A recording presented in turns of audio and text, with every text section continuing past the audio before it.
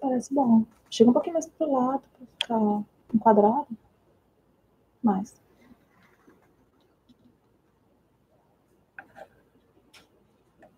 Mais pra cá. Hum? Não, mais pra lá. Pra cá? É. Não, tem ver nenhuma, muito longe. Vira, vira, vira mais. Tá bem. Esse aqui fica tão passado assim, ó. Vou enquadrar mais os dois. Tá bom. Deixa eu. Passa esse um pra lá. Isso aqui pra lá. Esse fica próximo. Isso aqui? Agora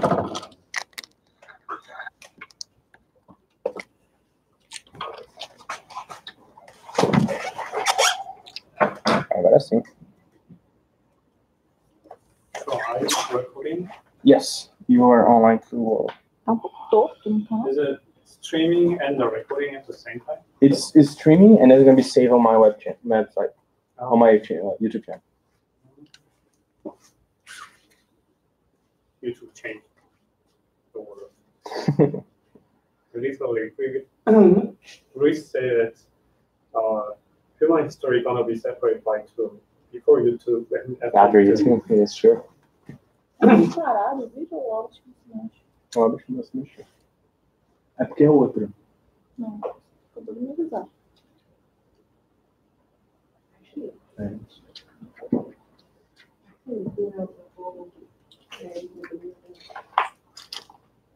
Ah, é. Que a gente trocou o link. Hum.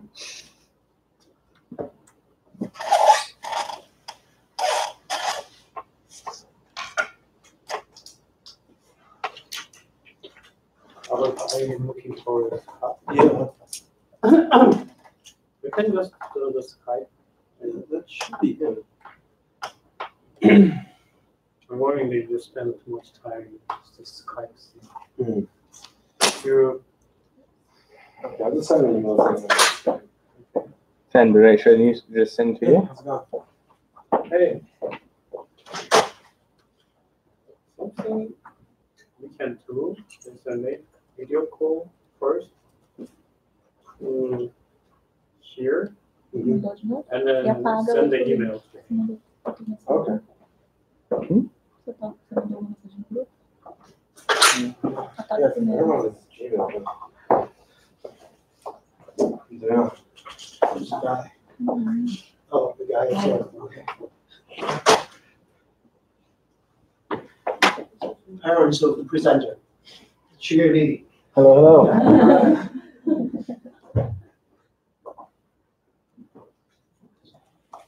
Can you see it? Yeah. So yesterday I found some resolver problem. I used a very small game for first position and velocity. Did the orientation game have anything to do with it or not really? I think all my control games almost they do. Joe, Because Wait. What's up? That was very fun. it's- Oh. Hey, Mr. Ramos. I think when uh, doing position people can Oh. most of the. Thank you for your help. No worries, Absolutely. absolutely.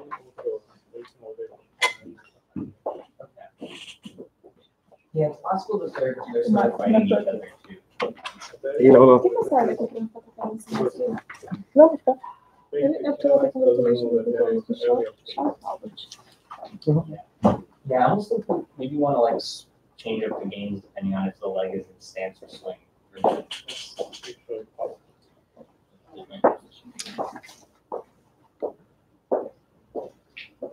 Because we, we still want this, the swing to be all the, like,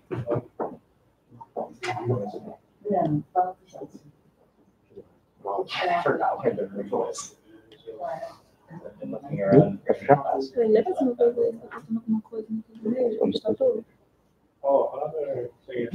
Timing, but I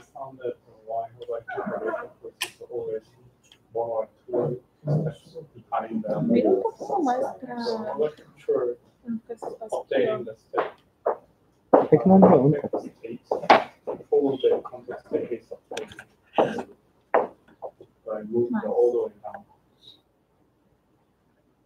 All the way down. Okay. Calma, olha por aqui. It is the easiest as it's Queen Derisma at Gmail. Who in, Calma, você viu que eu vou isso pra Oh, okay. K U I. Tá passando? I have a. Oh, yeah, Sign in. Tá parado. Reserves, Reset. At Gmail? Yeah. Gmail. Are you live streaming it on YouTube? Uh, Yes. Jawas. Oh, that's Tô parado You want to watch on your phone? It's the most classic thing. Não. Obras pessoais, né? I'm trying to get the link. I need a username to get this to. Oh. Um, I guess I haven't signed in since two thousand nine. Ron, can you send me an email, uh, link? You have WhatsApp, right? Yeah. Oh. Well, both of you. Oh. Oh, yeah, right? So you sent me the email, so I didn't. Oh, that's fine. I found it. I think I linked it yesterday, but like you actually know how to talk. Yesterday was really good.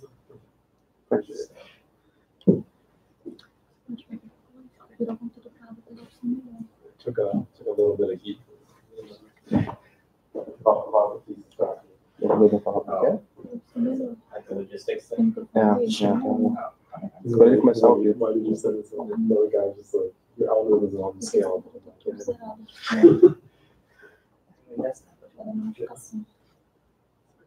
You can make it scale. Yeah, that'll be someone else's. I'll do it the first time. Scalable, when a supercomputer is better. Yeah, that's true. Não, comigo vai ser depois. How much you ever want to scale it to. Oh, Aqui é só um cafezinho, um assim. Uh, is that? Given a you know that, you writing the, is. Say you must. You. Yeah, hi, how are you? Thanks for coming. Uh, or Howard readers. Where's everybody? Do you think he needs to know? Because we're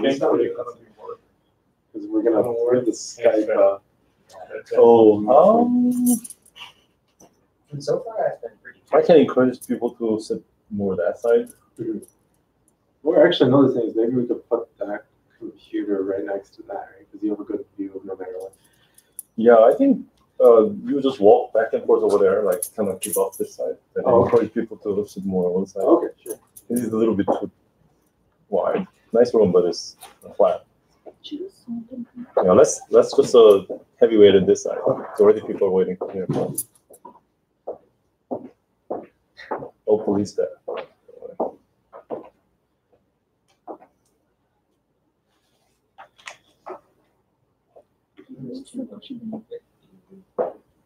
É. Comendo do chão também.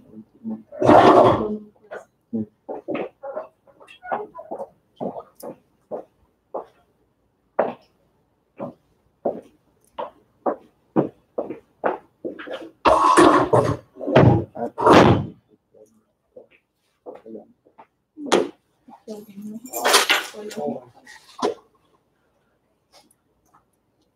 Alan. You. Yeah.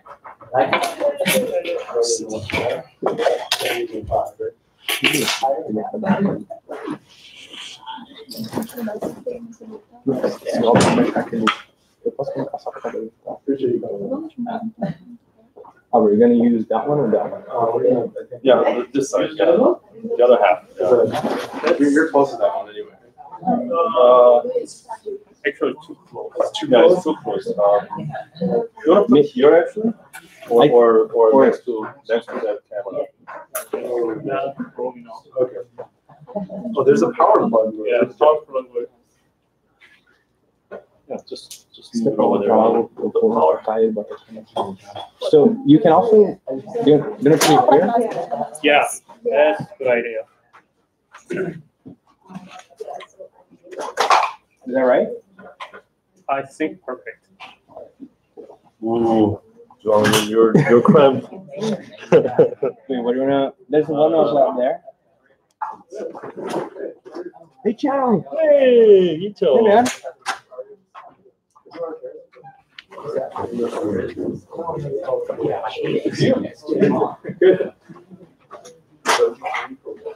don't need to move. Okay, I'll stay here without, uh,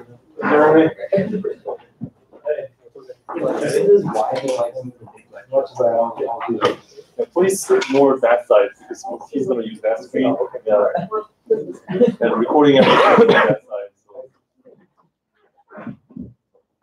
Skills. Long time no see. Mr. Clifford. Yeah, nice to meet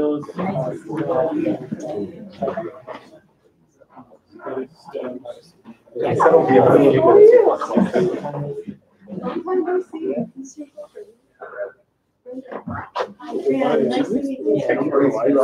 Hmm? No, no, it's fine.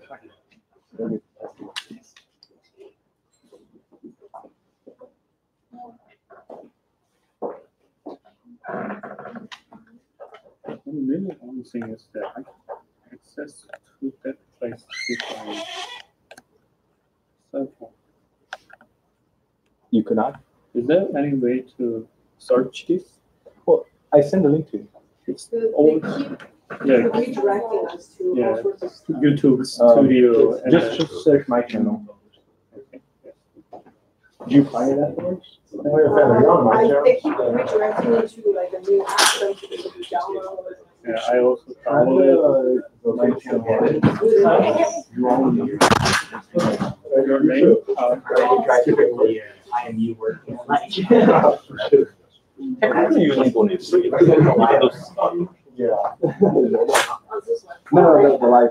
The live one. Listen okay. there. Oh, wow, it sounds interesting. Yeah, it's here. Yeah. Here we go, yeah, it's here. Yeah. The ladder I have like going on my head. Yeah, so Late for. it's like a few seconds, yeah, yeah, it's, it's pretty good, it's pretty good. I just won't, I won't have to go for hours. Oh, Michael here. Michael said, each other there, is that a work thing? Um, I subscribed. Wow, I'm here. Um, what, what is the search? Uh, And then we'll have one that ties it up. Okay. That's weird. This is perfect, this is bad. Yeah, the Screen side is dark, so this side doesn't matter. Só parece um banheiro. Oh, this is for like. Hey, Ryan.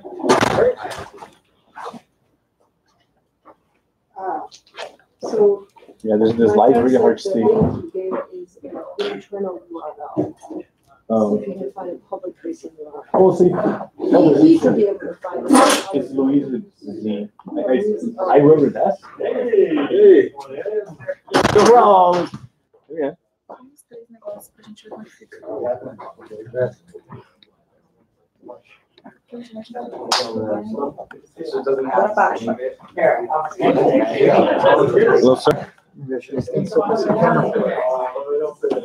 Setting up this really high tech stand. Parece vou deixar um pouquinho mais assim. Almost. I had a committee meeting and Marty wanted to push it back. Fair enough. Yeah, I'm cussing so close right Não, não, só Hey, As long as you're, yeah, that's what counts. Everything else is.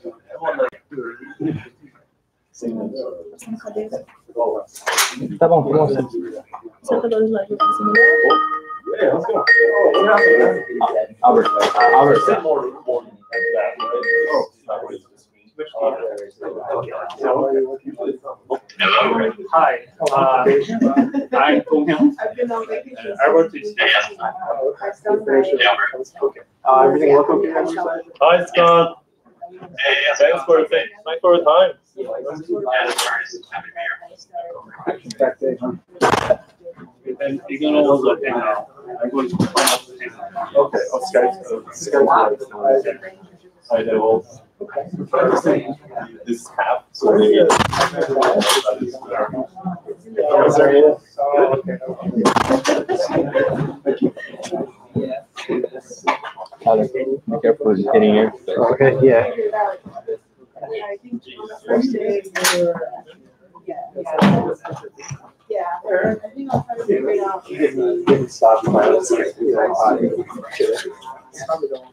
I'll try to it. I.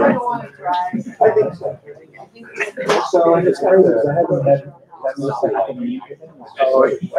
pitching my wagon the rocket. I do this. It's- Hey, it's about, like, a bunch of bunch of- like, I have a piece of time. Yeah. Since I was back the chair. Yeah, uh, let me see. you read up the link. So there's, there's five people left. There's five people watching me and. they- For now. Good evening.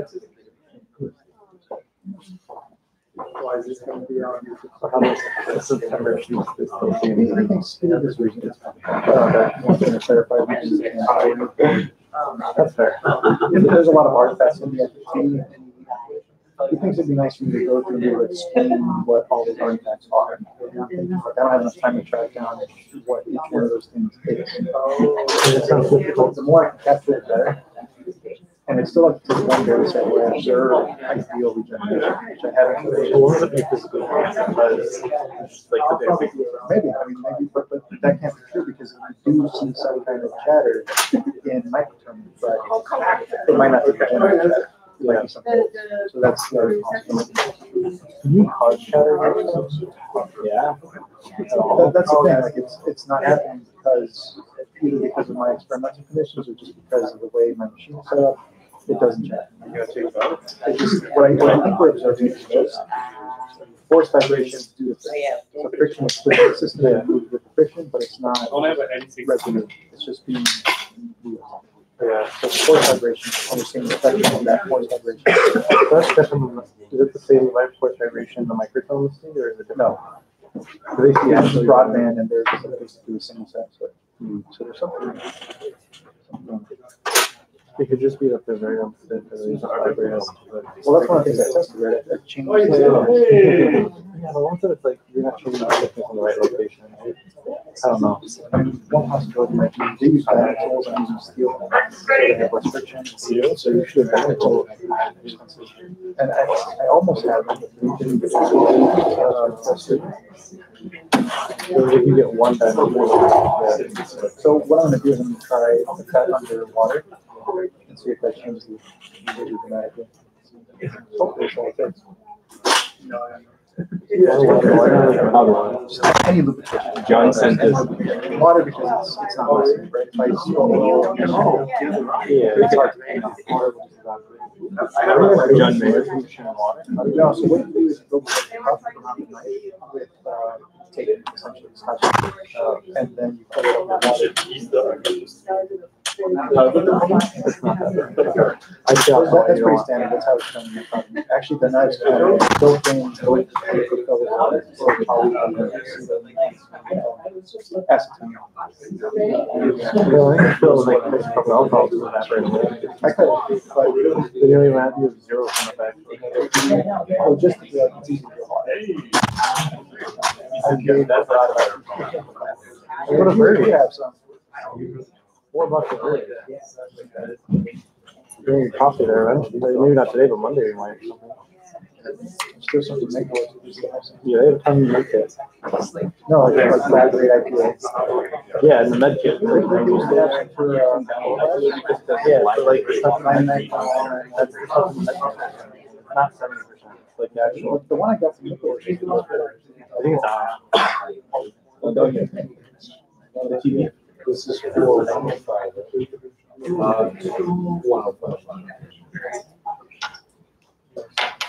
Just remove, uh, like, turn down the light there so you can see something. I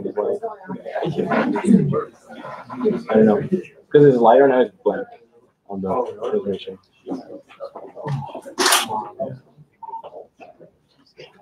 Hey.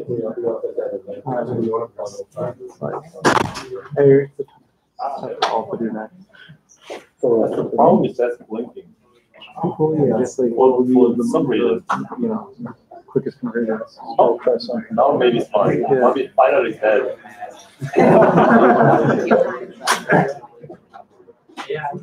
I still want to. No, it's, it's too blank. I think it's really, I mean, it's too blank, as you can see. I think. The, Oh, washed out. Um, and maybe for Scott's the same. wait, if you make it darker, it gets worse, right? Because you should, you should make it brighter to make it You could just said like this. Like with the lights on, I can just see the MIT. Well, can you start or? You can turn to the slide. You'll get darker automatically, and then you can see the slide. Arbor might be super bright, but it's a photo, photo, uh, iris. So you could point the bright side to make it darker. Oh, yeah, it's a little better. Yeah, it's okay. I think leave the light on. Just the better video probably. I don't, I don't think the light bothers too much. Can you turn on this red light right here? Just that one? Just the front light? Yeah, that might help because it's already bright. Yeah. Oh, not that Oh, one. the- the other one. Only the screen side. I- Oh, yeah, yeah, yeah. I think that's it. You got it. That's it, yeah. Oh, there's another light over there. It might be from the, uh. So complex. Okay, Maybe use the okay, I think that's the Maybe, best we maybe, can do. maybe, maybe it's- let's, let's stay like this. That's it, doing it. Okay, yeah. Can we- feels like it's- Oh, you got it. They got worse. Feels like there's like bumpless control on that light.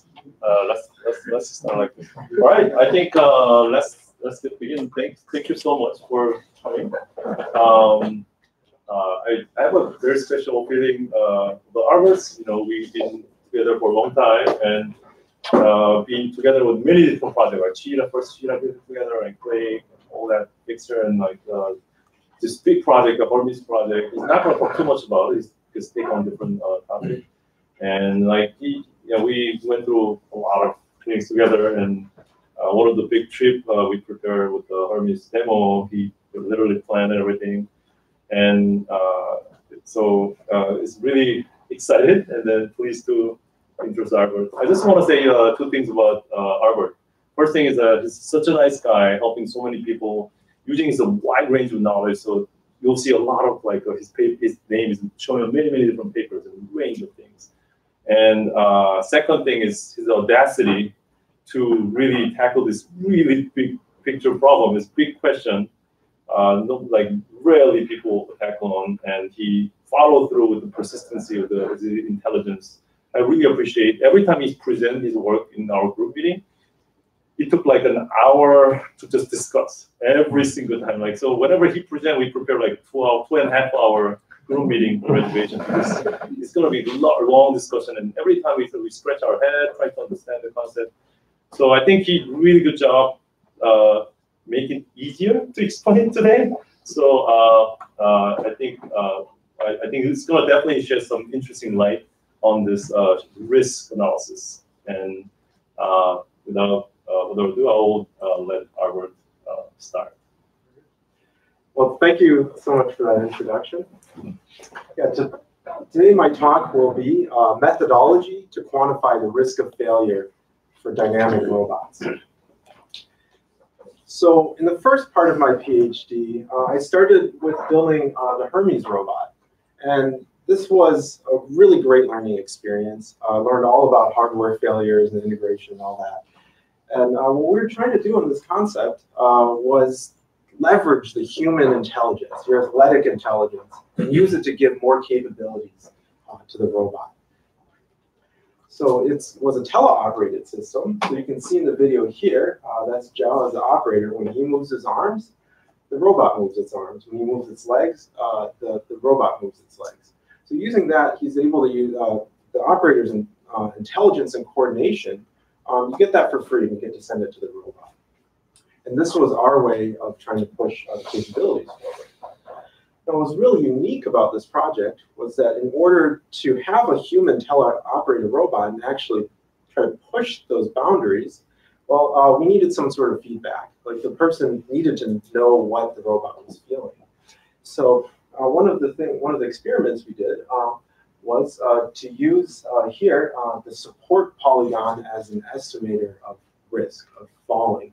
So we wanted the, the human to be able to control the robot, keep it balanced, and not have it fall. Um, and we did that by saying that uh, if your center of pressure moves outside of your, or get, gets close to your support polygon, um, you're in danger. So what we did is we pushed on the operator to make sure uh, that they would understand that the robot was feeling this. So you can see here in the video, um, I'm pushing on the robot, and then João gets a little bit of bump there. So I'll play that. I'll play that again, and then you can you can see. Uh, just notice on his hips there. So this worked pretty well. Uh, this concept, and it's because uh, we were doing simple tasks. Um, so something like standing, it's really easy to understand what's risky and what's not. Um, but the moment you decide to take a step, um, you turn a simple task into a more complicated one. So later on, we are doing more fun things like this, um, you know, punching through objects.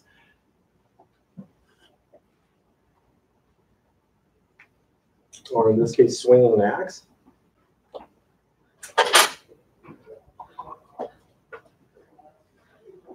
And in situations like this, because you have so much different types of contact, maybe you're taking a step, shifting your weight, it's really unclear what you need to do um, in order to quantify the risk of, of situations like this.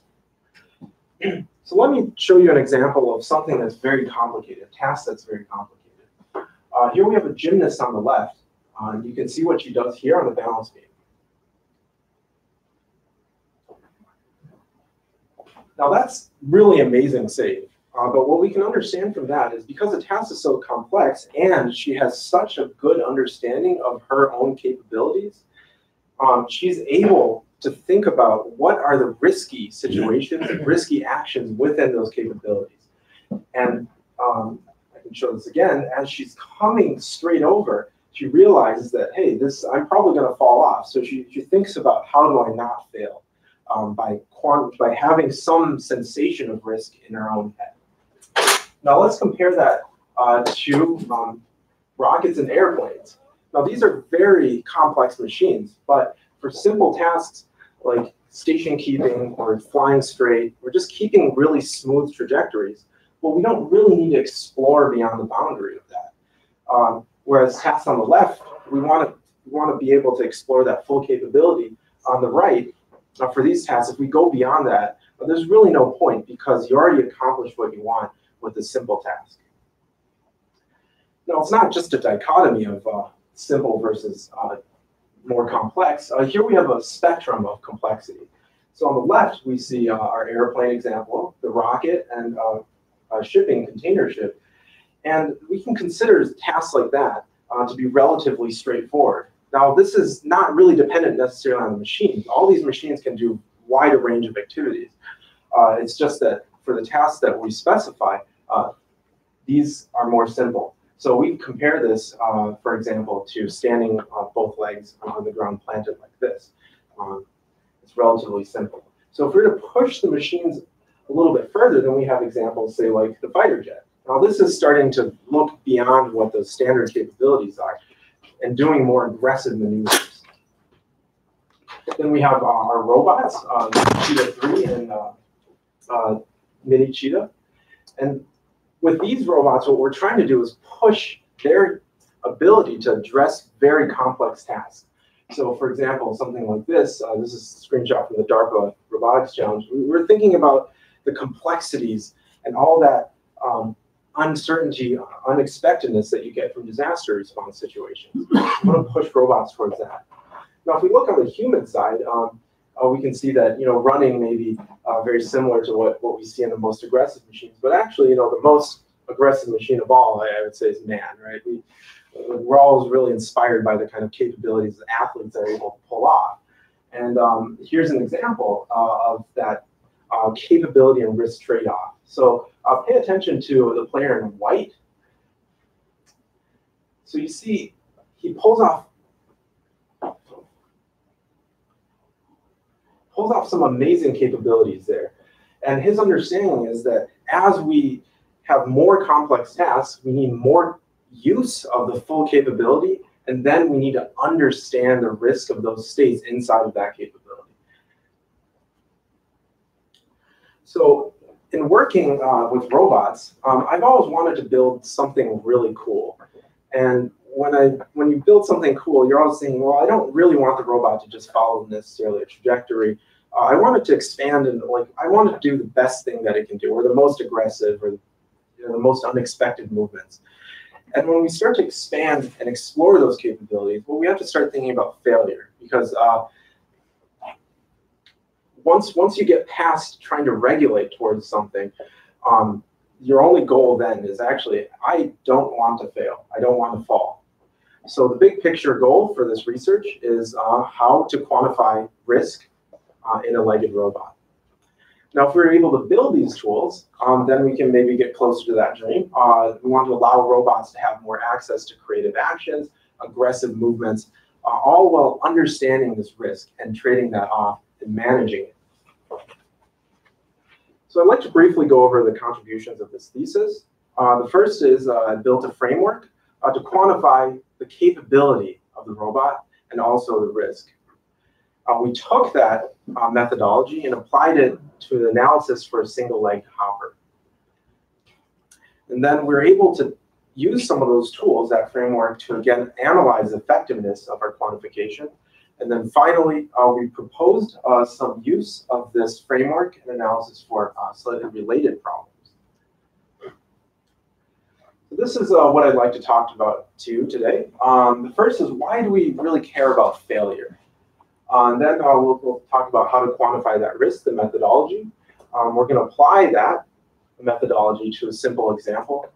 Uh, and then we're going to use that to examine uh, some slightly related problems. All right, why do we care about risk? Well, this video, I think, really illustrates why. So you see a boy running down the hill, and now he falls. Now let's watch it again in slow motion and see if you can identify when he looks like he's definitely going to fail. so step, step, step, step, step. Okay, right about here. He looked almost okay before, but now he's going to fall for sure. So in really complex tasks, it's not really clear um, how to perform that uh, without falling. Uh, so in this video, what we see is this transition between um, states that are risky but still work, but onto states that fail. So really, we need to understand what these boundaries are, uh, or the boundaries of this capability, so we can understand how uh, risky it is uh, for you to be in that state. Now, this isn't a really new concept. Um, in fact, uh, there's plenty of literature on how people have been trying to quantify risk uh, or safety or capability, these concepts, and they, they can uh, include a metastability uh, with uh, composition controllers. Uh, Tomlin did some reachability analysis, so it's like if the fail is in your, you can you can get there, that's a failure. Um, we have people who have done exhaustive trajectory optimization to find what these spaces are, and also there's some concepts of periodicity, and finally some state-based concepts for more simple applications, uh, ZMP and tumble stability. Now, with these, uh, a lot of these uh, methods are looking for guarantees of stability or guarantees of safety, and that's where they're they're focused on relatively simple tasks.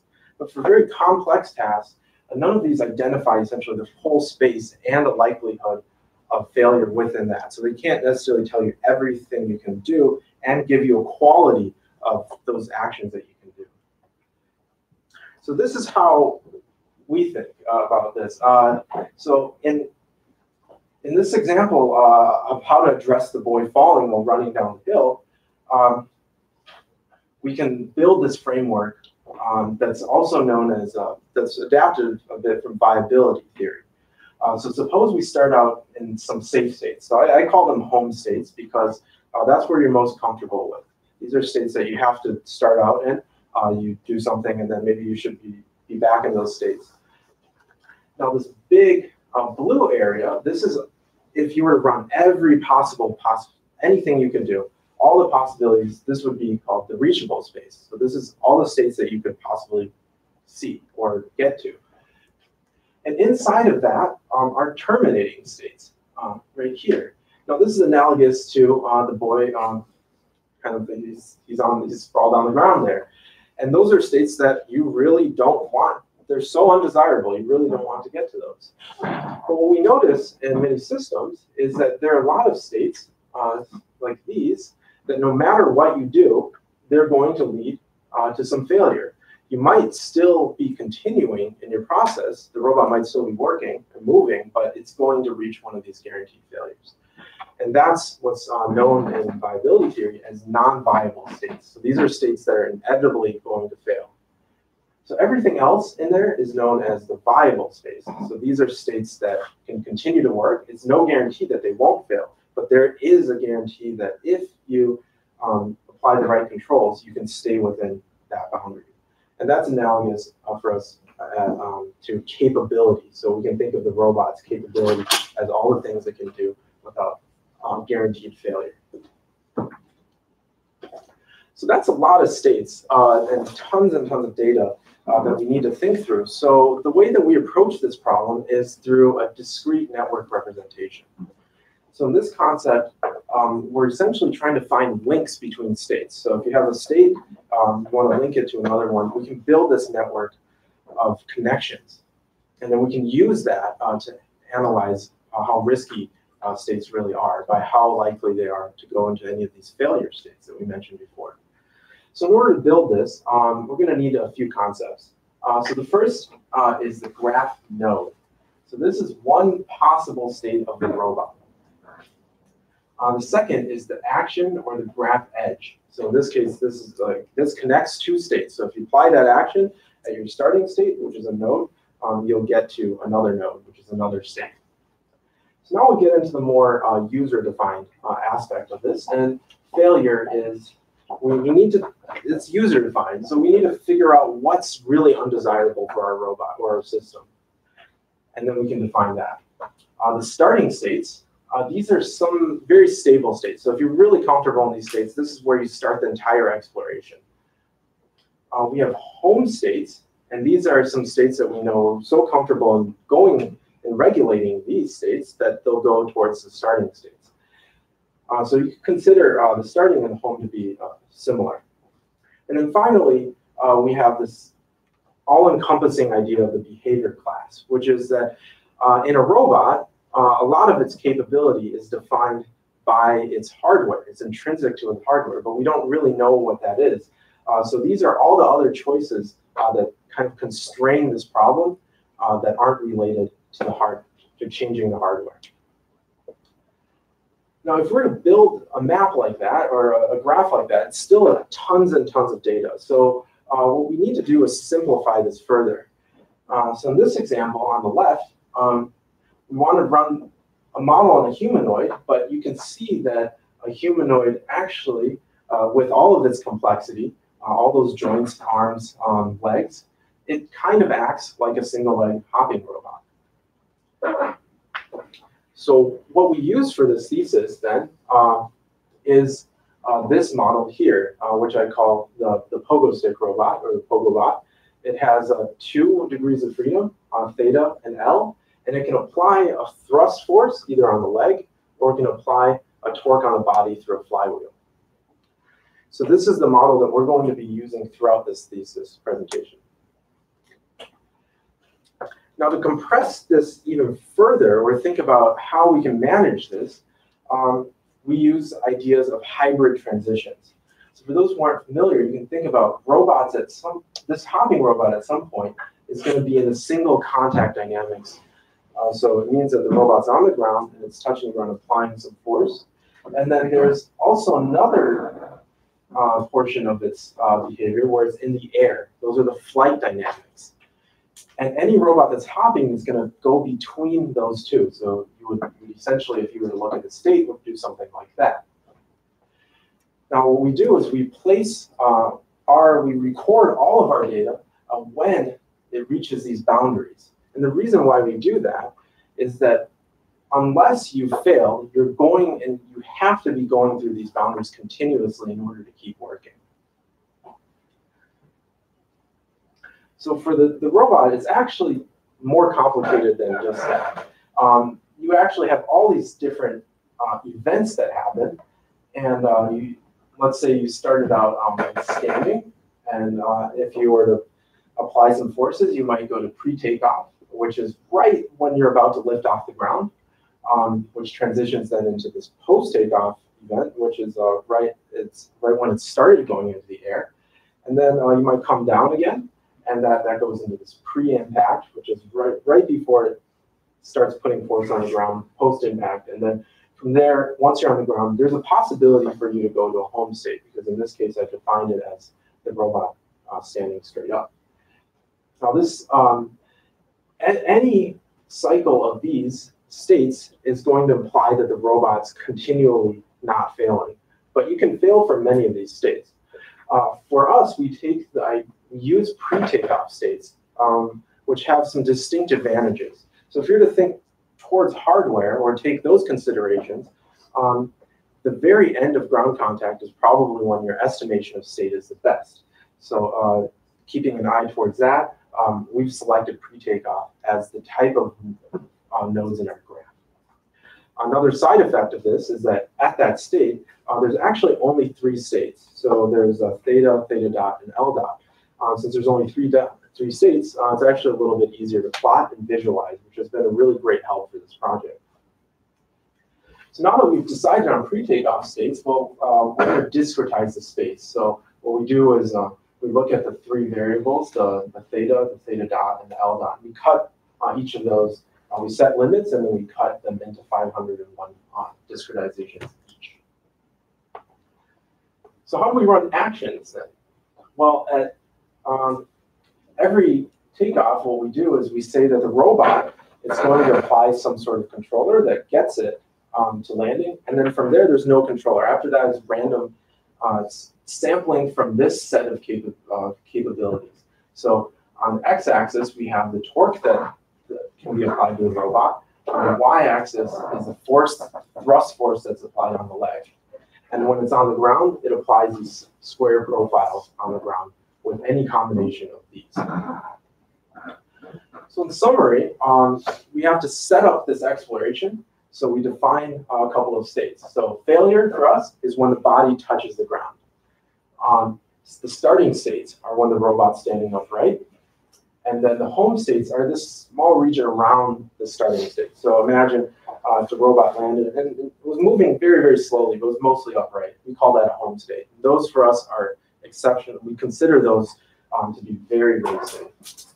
Uh, in our gridding, uh, as I mentioned in the previous slide, uh, we set some limits and cut them into 501 discretizations per axis. Um, the rules uh, for the robot on the ground are to apply these force and torque profiles. And then when it's in the air, it tries to land in the configuration that's close to the capture point, for those who are familiar with that. How does this look like? Well, this is one example of, say, a takeoff, a pre-takeoff state. So the leg has reached its maximum extension. It's about to fly into the air. And we're going to try to sample all of our actions. So what we do, um, we apply everything uh, in the range of our torques and forces uh, that we, we intended to sample. So it looks something like this. So in here, all the red states are states that it failed before taking off again. All the green states are those where it took off and then landed and could take off again.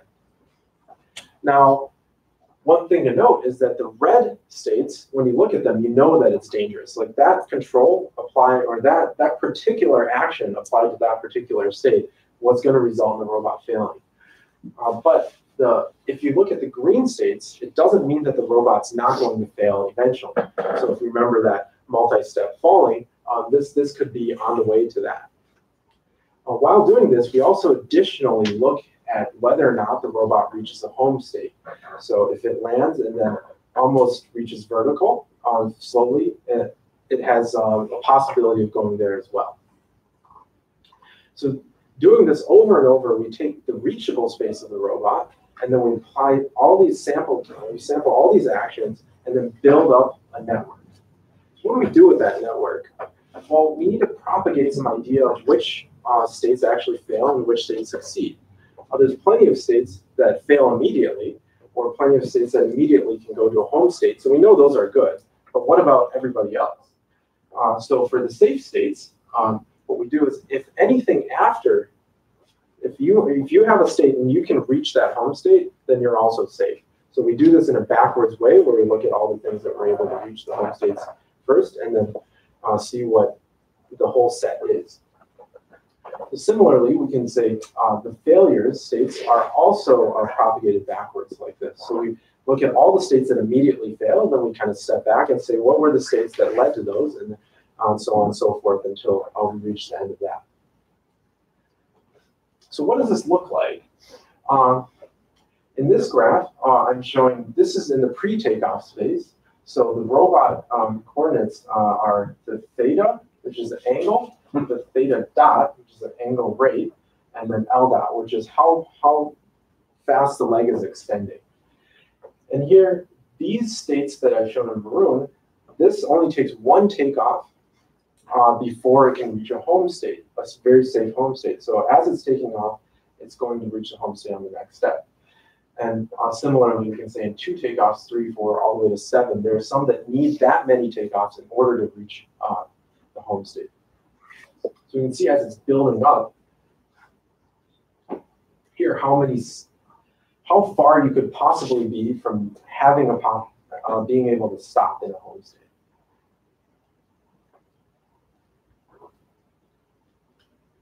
So similarly, we can look at what happens for the failure states. Um, there are some states right here, uh, in one takeoff, no matter what, you are going to fail. Uh, there's some that uh, maybe you can't actually see that failure until later. So we can see that being built up here. So here's one step.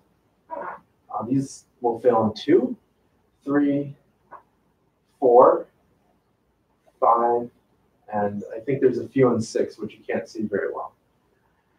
So what is the idea of many steps before failure, many takeoffs? Well, if you're six in, in this group here with five or six, it means that um, you can keep hopping for that many steps before you have to fall on the ground. So if we look at our video again here, um, we see, you know, once he has crossed that boundary where we know that he's going to fail, he still had a couple of steps in him. And that's the idea that we're uh, seeing here. All right, so once we've propagated all this uh, viable and non-viable, so the guaranteed failures versus the working states, uh, we have a space that looks like this. Um, on the, we have theta, which is the angle theta dot, the angle rate, and the L dot here, which is the, uh, the, the, extension uh, speed of the robot. And I've labeled three points here, which you can see um, different robot configurations and states. Now this is a very complicated shape.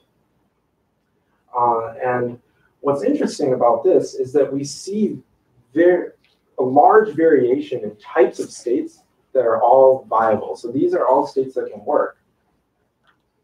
Now that we have this, um, how do we turn this into the quantity of risk, which is what we're truly after?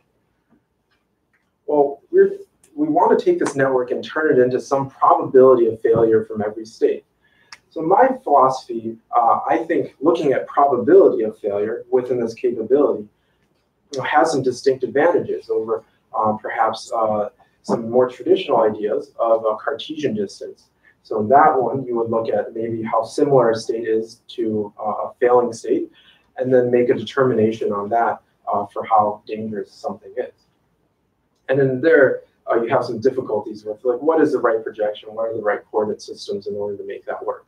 So I think uh, probability is actually a much more straightforward way of thinking about this. So how do we do this probability projection? Well, we start with the most uh, simple example. This is a classic example. It's called a drunkard's walk.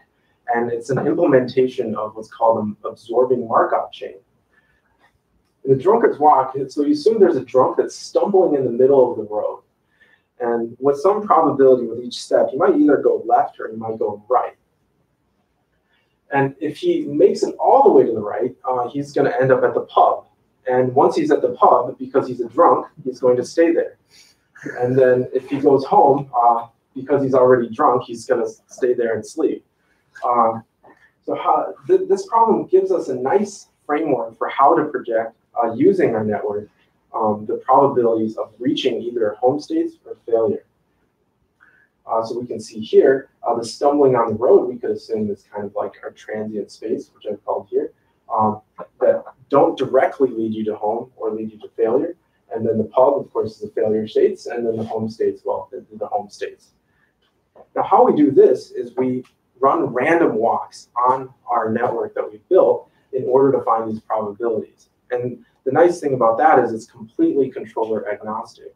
We're not really looking at, we're not trying to find any controllers. We're actually just trying to quantify the quality of all these states and doing that by not biasing it towards any particular behavior.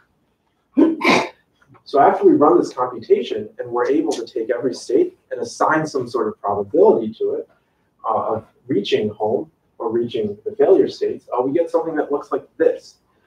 Um, this is the, all those states that we said that worked on the viable set now labeled um, in color uh, corresponding to the likelihood or the probability using this random walk that they will end up at a home state, which is the safest state.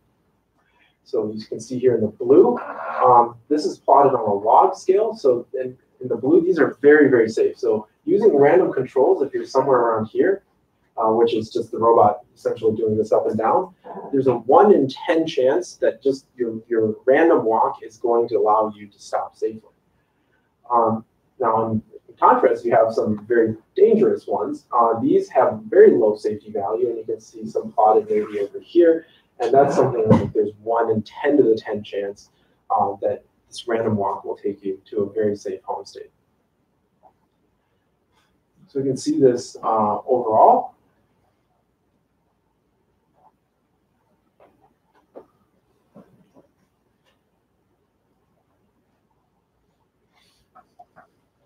And yeah, that's just amazingly complex. Uh, what we can do then is uh, plot also all the states that don't work. So remember earlier, we separated um, that network of explorations that we had into the states that were viable, so those are the good ones, and then the states that were non-viable, so everything that's guaranteed to fail. So in this surrounding area, in the pink, uh, that's those are all the states that are non-viable. And you can see there's actually some boundaries here. So uh, for instance, uh, right over here, um, these these states don't actually have any uh, boundary with failing states. So we can think of those as uh, reachability boundaries. So maybe if the, the motors were stronger, um, you might be able to push that out a little bit. Uh, the other boundary we see is the one that actually borders uh, in Cartesian space um, the failing states. And, and those seem to have a little bit lower safety values. So let me give you an example of what this really means. So we have all these numbers here, and they're uh, some of them are quite extreme. you have you know 10 to the power of, of 0 and then 1 and 10 to the 10. Um, so we can look at a state that that's maybe red here. And I'll show you what that means in real life. So, uh, we can watch someone trying to shovel their driveway.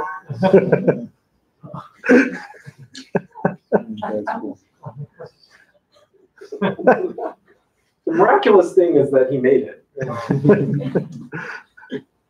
But the idea here is that because we're using this random walk, it essentially counts the number of control sequences that allow you to reach a home state. So in this case, maybe you won the lottery. There's maybe only one way you can survive that, and then you did.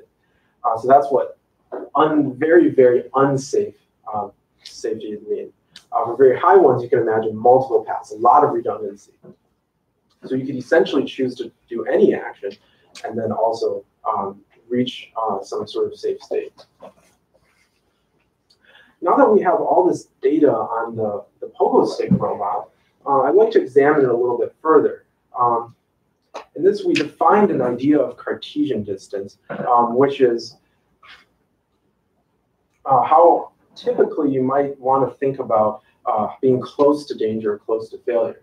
So in this case, since we gridded up our space of takeoffs, we looked at where uh, in that grid um, there was a failing state and close to it in Cartesian space uh, was uh, one of the working states or non-viable states. So we plotted then the safety value um, here on the y-axis against that distance here on the x-axis. Uh, so what we can see from this is that there's two, two conclusions. First is that it's pretty intuitive. If you get farther away, the safety value that we've generated is actually higher. So the intuitive thing is, of course, you know, if you're on a ledge or something, um, the, the farther back you are, the better you'll feel about it. Um, but that's just the lower bound. The converse of that isn't true. So if you're very, very close, in the sense that um, in that gridded space that I have, and uh, in Cartesian distance, your your working, your viable state was very, very close, or just neighboring a, a guaranteed failure. That doesn't actually mean that you're going to fail um, using the kind of projection that I've done with my method. So the intuition behind that, though, is like if you're on the ledge, maybe you're not always that scared if, if you happen to be going one way or the other. Uh, might be more dangerous in certain situations than others.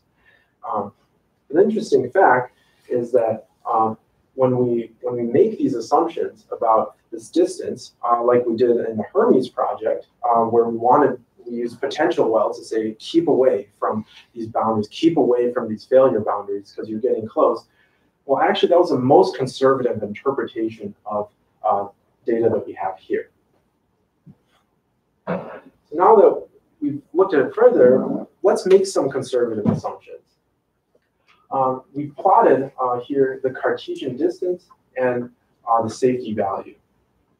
So suppose we decided to take away states that we thought weren't very, very weren't very safe, and we thought we wanted to do that because they were close um, to non-working states. Uh, we would use this vertical rectangle and essentially just take all the states away from the left uh, going towards the right. Uh, we could also make a different assumption and say, well, the safety value that we generate in these risk maps, well, some of we shouldn't go to the ones that are very low because they're very hard to achieve. Um, so in that case, we, we take away from the bottom here. So let me show you an example of what I mean. Um, here, I've decided that uh, all states that are within a distance of four um, in Cartesian in that Cartesian bin space to the closest failing state um, are going to be removed. So what we've done, we've gone through all the viable portion of this space, and then uh, we've essentially expanded balls around it to find the when it first touches a non-working state. And then we come up with this set. So you can see it's actually just a very thin uh, layer uh, almost uh, on, on the big space that I showed you earlier. The thing is, though, if you just take away this, uh, you don't actually, this isn't the only effect it has on what you can do. Since we're looking at the full capability of the robot, I want to examine how does that actually affect the capability. And a good intuitive idea is like this. Suppose um, these are all the states that we're in, the blue dots, and the arrows represent these links, these actions that we took to get to each of these states. Now suppose um, we decided that we were going to remove one of them because we didn't like it, uh, because you know it didn't satisfy the criterion of risk that we decided on. Well, what happens is that now, well, the previous state um, is bad too because uh, you can't if you if you go here, then you're going to lead to something that you assume is going to fail, and then you can't reach some states subsequently because your only path to them was through what you thought uh, were some dangerous states. So let's see that played out uh, for the example I showed earlier. Um, here we have plotted in the red all the states that you removed because you thought they were dangerous. Um, in black were the states that become now dangerous because you removed, you, you assumed the red ones were extremely dangerous. And then the green ones because you can't reach them uh, because your only path was through something that you didn't like. And we can actually see a massive amplification in what you uh, lose in capability. So before you might have thought, I was going to be conservative by not going to any of those red states. But actually what happens, you can't go to any of those black states and you can't go to any of those green states.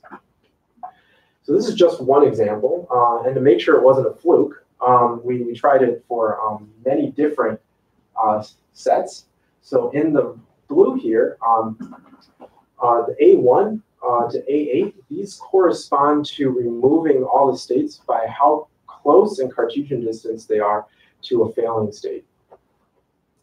Uh, so here we moved all the states that are within the distance one, and over here distance eight. And uh, in this in the red line, what we did is try to remove a similar number of states, but use a different method. So take all take the safety value that we've generated from our risk quantification, and then I'll remove about the same number and see what happens. So in this graph, the x-axis, this is the normalized amount of removed states. So this is the proportion of your capability that you lost from your conservative assumption. On the y-axis, this is the portion of your states that are actually affected, um, including the ones that you removed uh, from your full capability. And this yellow line here represents uh, the idea that if you just remove some states, you can't and you can't get to them. Those were the only affected states. So you can see, no matter what we do, um, we're going to lose some additional capability. So it's going to it's smart to think about what the assumptions are uh, for your robot and how um, danger actually plays into that because you, you have a potential to lose quite a bit. So now that we had uh, analyzed the, the data from the pogo stick robot, um, we'd like to do something with all those quantified risk values that we got. Um, now remember, there wasn't any control that was associated with, with making those values, uh, but we can use them for control, and it's going to be pretty useful uh, as I showed here. Uh, suppose we want to define, design a simple risk-aware controller. So in here, we wanted to follow some trajectory, uh, shown in red. Um, this is uh, some velocity trajectories. We want the robot to maybe at every takeoff, you know, have some forward speed. And then we set a threshold of how tolerant we are of risk. So on the left side, this is very, very intolerant of risk. So I, we say that the worst state you can be in that value has a 1 in 10 chance using the random walk of reaching something safe. And as you can see, nothing really happens. The robot is essentially doesn't follow the trajectory at all, even though it conforms to the risk bound. So what's the robot doing? It's saying, I want to go forward, can't do it. It's too dangerous. So just keep doing this over and over and over again. So on the right, uh, we make this a lot more uh, risk tolerant. We say that the worst possible state that you can go to uh, from our methodology has a 1 in 10 to the 10 chance of reaching a safe home state. So this is almost everything. We're allowing the robot to do whatever it wants uh, within the capability. So long, you know, it doesn't, it can't fail, of course. So we can again see this red trajectory, which is um, what we have a desire, and the robot essentially just bounces around that and gets kind of starts uh, moving in that direction. So you can assume it's kind of moving along like that. And here we can see that the robot is not uh, constrained by any uh, of this, this uh, risk ideas that we have. So similarly, instead of using this as a constraint, we can, because we have a quantity, we can actually control now on that quantity. So let's say we wanted to always go to the state with the lowest risk next. And you can see here that this robot will hop, uh, make seven hops, and essentially increase uh, safety value every single hop. But when you look on the states, there's really not a good idea of what it's doing. It's kind of hopping back and forth. But uh, those states are actually considered safe by probability of failure. So I've shown a little bit in control. Um, now that we have this quantity, we can also make targets about this in design. Uh, so I propose um, this idea where you can think of that nominal robot that I showed earlier in the talk, and then let's make some modifications to it. Let's say we cut out 20% of the mass. Yeah. And in this column, you can see that we added a certain amount of capability, and then we lost some compared to the nominal. So we can repeat this process um, um, by taking away inertia, maybe doing some combination of mass and inertia. And then we can try to understand what are the effects of these slight parameter variations. And one thing that I propose uh, that's I think is a little bit more useful than that is when you're designing a robot, um, sometimes what you do is you'll you'll make some target parameter assumptions. We're just going to make the robot, you know, have have these fixed parameters, then you build it, and it's not really the same. Or you know, maybe the battery isn't isn't big enough. You add a battery, now your mass is higher. Well, what can you do? Um, we can think of an idea of maybe like a design robust set of capabilities. So these are essentially the intersections of all the different variations we have. So you know that when you build this robot, um, if you if you even make a slight change, you're not going to you're not going to lose uh, you're not going to have less capability than this. So now to summarize, um, this whole process that I did uh, started with uh, looking at the pogo stick robot, um, talking about the ideas of risk, failure, quantifying how to quantify those risks inside of the act, inside of the states that you could do, and then from there we produced the space of states that the robot could be safe in. And beyond that, we've now labeled this comparative quality of states. So now we can say certain states that you can achieve are better or worse than others. And from that quantity, uh, we have several possibilities. We can be, begin to take this uh, and use it to inform controls, maybe use it to form design, cost, functions, or uh, look at how to make constraints. Now, looking forward from this work, um, what we've done is run this on kind of a single leg hopper. We want to push this towards more complex machines. So things like the humanoids and the quadrupeds. Uh, we've looked at one possibility of defining a risk metric. Um, we have using a random walk, uh, but there are other types of assumptions that you can make. So we like to look at how we can blend those in and see what are the best ways for your robot. Uh, because as we showed earlier, um, if you make some bad assumptions about how you want to be conservative due to that risk, uh, there are some real implications to that. And the, the final um, kind of obvious direction uh, from here is this is another data set that we can use to inform machine intelligence. Uh, maybe we can improve the performance of uh, artificial intelligence uh, learning machines. So with that, um, I'd like to reflect a little bit uh, on my time here at MIT um, and uh, show a couple of uh, funny moments. I, I, think I pulled up this picture a few days ago, and this was Cheetah 1. Um, and you'll notice that the dork behind there is wearing a helmet. Uh, that that is me. Uh, at the time, we had a we had a very very powerful what we thought was an explosion, but it turned out to actually be the, the robot motors being incredibly powerful. Uh, and we really didn't know how dangerous these things were, so we took every precaution. So we taped up a couple of plastic boxes in front of the, the guy who was trying to lower the robot, you had to wear a helmet at that time. I think we're much more cavalier these days. Um, others, uh, we have Cheetah 2, and there's a time we went to Dubai. And uh, this is kind of my favorite one where um, I think at the beginning of the Hermes project, uh, we decided to kick trash cans. you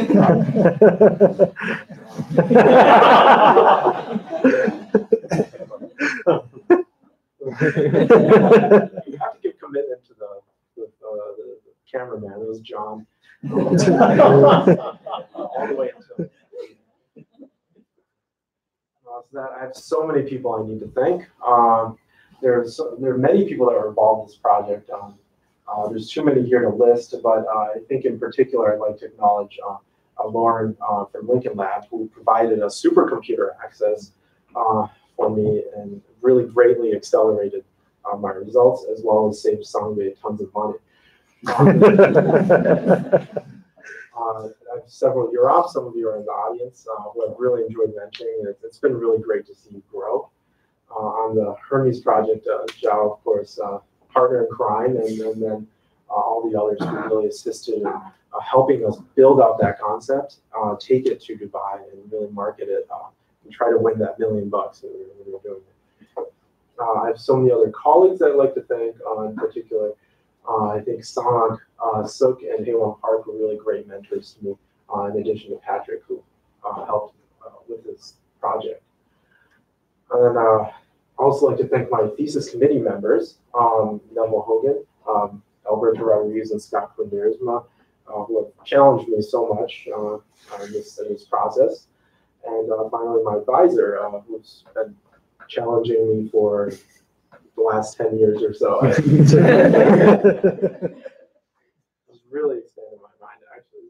I, I thank you, and I'm very grateful for that. Uh, finally, uh, I have so many friends uh, who've been supporting me throughout this process, and also my family, uh, my parents in the back. Um, all right, with that, I'd like to uh, be happy to take any questions.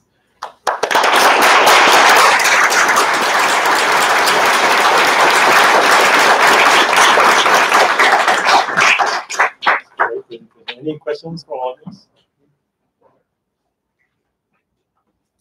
Joe? So This might be a very like, detailed part of the Sure. work. Uh, I was just became curious about, um, the, the regions or the states, the areas, or the volumes.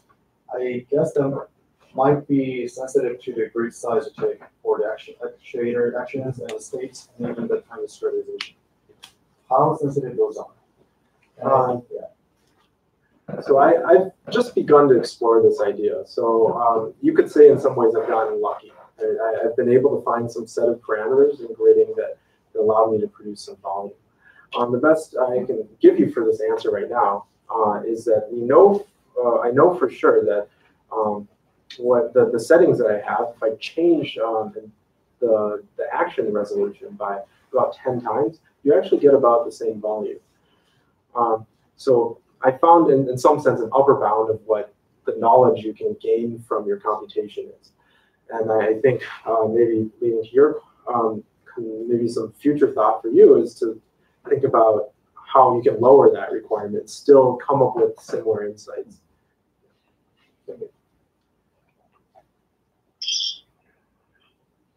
Albert, can you repeat the questions that you get? Oh, sure. Uh, so Jomu asked, uh, what was the sensitivity of these uh, these networks, the volumes I've plotted, um, to grid size, the resolution of the action space, and um, how we set up the problem essentially. And uh, did, were you able to hear the answer to that? Okay. Yeah, that's good. Okay. Yeah, the question. Yeah. How did you choose um, for the simulation the size of the components of the uh, Pogo robot? Were they just similar to like human dimensions, or The way the design is, it's just from. Oh yes. Uh, the question there was, how did you choose the the size and dimensions uh, for the nominal uh, model that I run for the Pogobot? Uh, so the answer to that is, is really just from intuition. You design enough things, you get a sense of, um, of how big things are. Uh, one one detail that I didn't mention in this presentation was that a lot of the mass parameters that I used uh, use more kind of dummy parameters, you could say, like kilo or two kilo, something like that. Um, whereas when you're really detail designing it, you would have much more um, uh, like finer control over those. So in, in order to say like how you want to move that model over um, to the real thing, uh, I think the, the last proposal of did in design would be very helpful. Uh, yes, and Um, so the region that you have, the three D regions, uh, these were I mean, the pre-flight, like the, pre-take a step situations. Um, so some of the region would then be associated with, I guess, moving forward. Some of the region would be associated with moving backward. Mhm. I guess. that's right. But then potentially it means in order to pass from moving forward to moving backward, you need to pass through a region in the middle that uh, when you apply the conservative, you know, four, four, you know, units away, that space was empty. Mm. So what's interesting about this is, oh. Uh, I actually heard that one, so you're. Oh, you did? Was a long question, so. So did you find that it was able to maybe switch? Did you observe sometimes where it started moving forward and then random walk backwards Ah. successfully? Absolutely. So what, what we see, let me, let me go back to one of those. Uh, uh, you can see it here. Um, this is actually a Poincaré section. And so it, we define this Poincaré section as the robot lands, it's right about to lift off. Okay, what's the state there? So you can think that there's so many things that can happen in between. Uh, suppose you stuck your leg out or you ran a huge torque, you could go like this and then take off again. So there's no need to essentially um, get closer and closer and closer. So that that's more of the idea of uh, what I would call like regulating the state, right? So you, you have some regulation where you're kind of bringing this closer and closer to the desired maybe like zero velocity.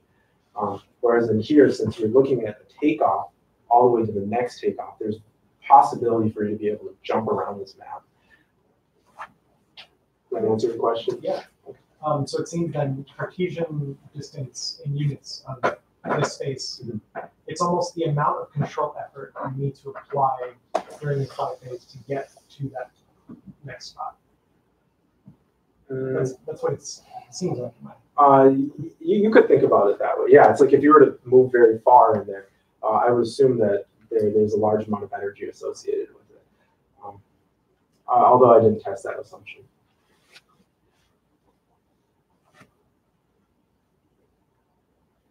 Yes, Phil. Um, So you showed uh, example where you regulate the risk uh, with some sort of optimization. Uh, Could you talk, uh, I think it was maybe, yeah, this one. Um, I guess what, what are the kinds of tasks that a controller such as this would be used for? I'm I'm imagining like disturbance rejection to get back to a, to a nominal risk. Uh, Could you talk about the tasks that is? Yeah, so I, I'm thinking a little bit more in terms of humans because I've watched so many of these. Oh, I'm sorry. Uh, did were you able to hear the question? Uh, only partially. Oh, okay. Um, so Phil asked uh, how um, optimization controller here that operates on uh, the risk quantity uh, as a control variable uh, would have applications for. All right. So to answer your question, uh, I, I think of this as kind of some emergency controller idea. So remember that gymnast um, who's who's like almost going to fall off the balance beam. Uh, she decides maybe at one point, I'm going to give up on what I was doing, and I'm just going to try to minimize that risk. So this would this would be like the fastest way to get up. Um, I think there are other applications. Uh, I think, as you mentioned, there's some disturbance rejection ideas, uh, but they don't really play too far into the kind of the way that I defined uh, the risk quantity because I said it was a random walk on all the actions that you could choose. Um, so this is sort of like how good you can you can execute uh, on, on a certain um, uh, state to, to drive you towards uh, something safe. Does that answer your question? I hope. Yeah. Thank you. Can, can I ask a follow-up question? Of course. So um, the optimization that's sort of, I think it's on the next slide uh, that you're doing for control. What it's sort of saying is, um, I want to do a sort of minimization of the action over this current time step with respect to a constraint that you know it's a probability defined on the assumption that I act uniformly randomly afterward.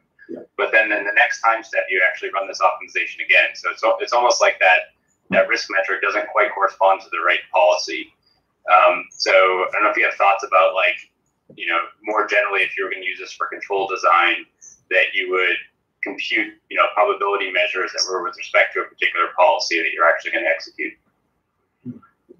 Yeah, that's uh, something that we've thought about a lot. Um, and the reason why we arrived at this random walk idea was that we really didn't want to bias it towards any any sort of policy. Because one, once you do that, and then if I were to take that set and run this controller again, um, I would essentially bound to do whatever that initial policy uh, had already set for me. Uh, and I, I would think that that essentially covers the whole space when it really, in actuality, doesn't. Now, to your point though, um, we could think about relabeling um, the probabilities of transition between these states since we have that whole network and we can relabel all the edge weights um, to consider uh, the types of uh, policies that you're, you're talking about. And there's very possible that, uh, you know, we might reduce that space. Um, but the, the safety in, in those uh, areas, I mean, it has to be higher, I think.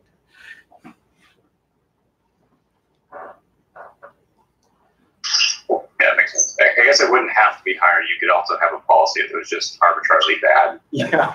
Always ran towards failures, but yeah. That would be like the art adversarial controller.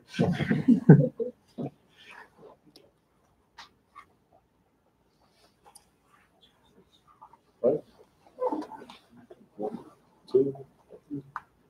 All right, well, thank you so much.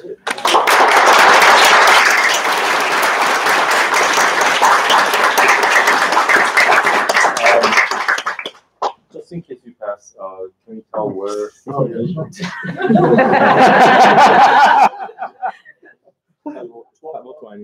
Where? Uh, uh, the, the conference room. Five, five zero two, uh, Zero. five zero zero two zero is across the Killian Court base, uh, basement at two.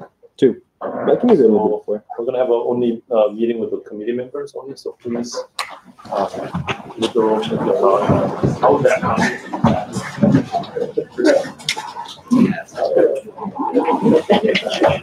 that? So I don't